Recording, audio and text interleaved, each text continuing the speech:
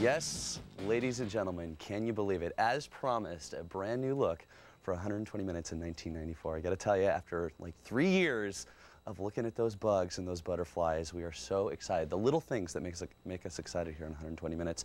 And I hope you liked it because you're going to be looking at it for another three years because that's what our budget's like here at 120 minutes. We don't have that those totally different poly dollars around here. Tonight on the show, uh, which is usually around this time we like look back and do the big countdown. That's going to be next week since we had actually two year-end shows. We had our performance show last week, and we're going to do the year-end countdown next week. So we're going to play you uh, some. We only got two new videos because a lot of videos don't come out uh, at this time of the year. We got a new one from Bjork, which is great, and a new one from Jawbox. We'll be dipping into the well and going back for. Uh, uh, the Smashing Pumpkins from their debut album. We'll be playing the latest and the greatest from the Breeders, Catherine Wheel, One Dove, Curve, Rage Against the Machine, the Rollins Band, Liz Phair, and more. We're going to kick off with the title track for the Mighty Mighty Bosstones, Don't Know How to Party album. And if you like this video, you should check, definitely check out the Bosstones Live which is one of the great, funnest experiences, exciting, great live shows you'll find anywhere on the planet.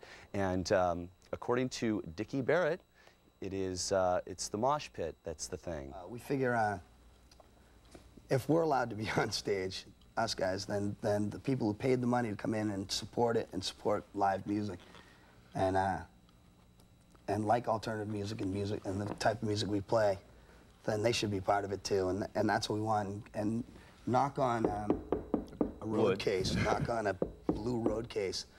We hope no one gets hurt, but it's it's what we're all about. It's everybody's there together, and uh, you know we're not dressing room guys. It doesn't take a lot to meet us at shows. It doesn't take a lot to uh, be part of it. If if you want to, you're involved, and that that's what it's all about.